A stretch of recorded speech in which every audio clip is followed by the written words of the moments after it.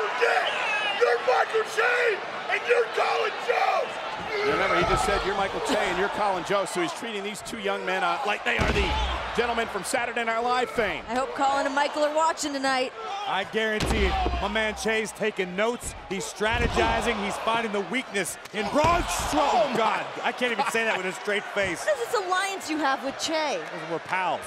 Well, we're not yet, but we probably will be. Well, Trey has been getting Colin Jost to try to apologize, but it hasn't really. Uh... Hey, listen, if something bad happens to Jost, well, there you go. Somebody Jost new. is just eliminated if, if this is Sunday, and oh, uh, Michael Che is going to join there him. goes your boy, Graves.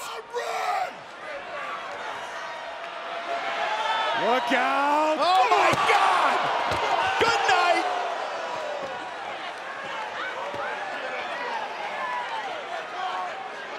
Those uh, desks at Weekend Update are sitting pretty warm and comfortable right now.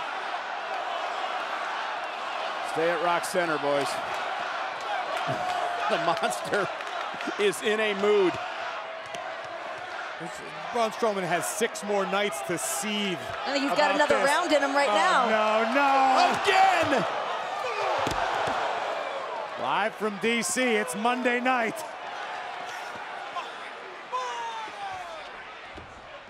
Braun Strowman. Colin Michael, this could very well be you.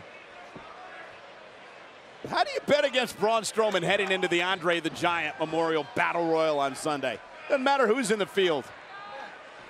I'm with you, Cole. I don't know what Graves is on about. The odds are great. If he doesn't win, you make a lot more. Oh my God!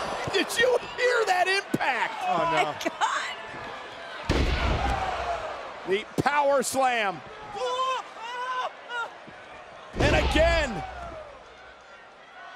What do you think Jost and Che are thinking right now?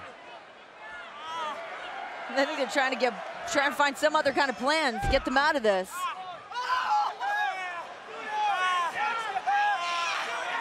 Colin sick? There is no sick in WWE, Renee. I'm trying to think of something for them. right. I got nothing. And look at Oh, Braun no. Strowman.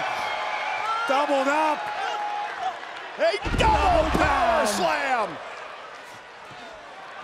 Emphatic victory for the monster among men.